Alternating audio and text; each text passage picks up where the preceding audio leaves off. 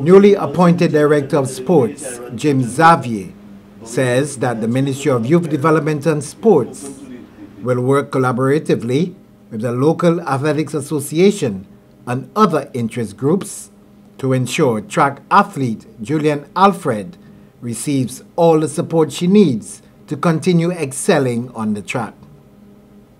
Alfred has had a string of strong performances for Texas Longhorns on the U.S. collegiate circuit and recently improved on her personal best and national record running 11.07 seconds in the 100 meters.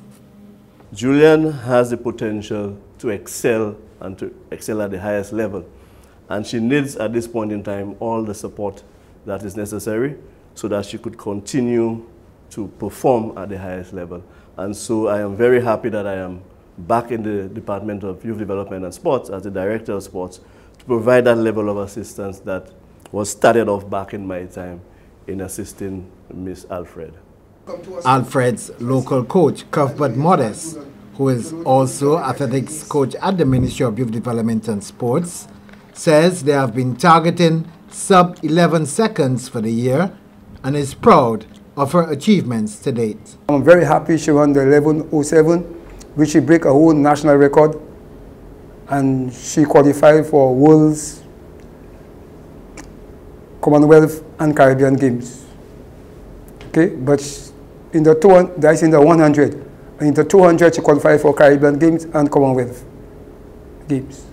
Mother says the athlete is focused on her goals and is structured in her decision making.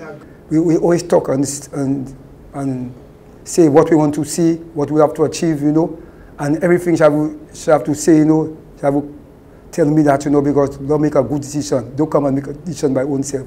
We decide, we decide what we want to, want to see and what we want to do. And the coach have been working with me from times, you know, anything he wants from Jordan or he wants Jordan to do, he just contact me. So I feel very pleased with her staff up in Texas Longhorns.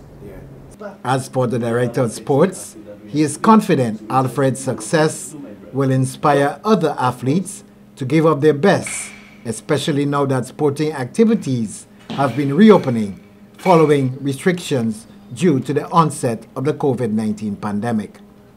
I am very happy that the, the sporting culture is, is, is being revamped and then we could do it into the sporting development. From the Ministry of Youth Development and Sports, I'm Ryan O'Brien.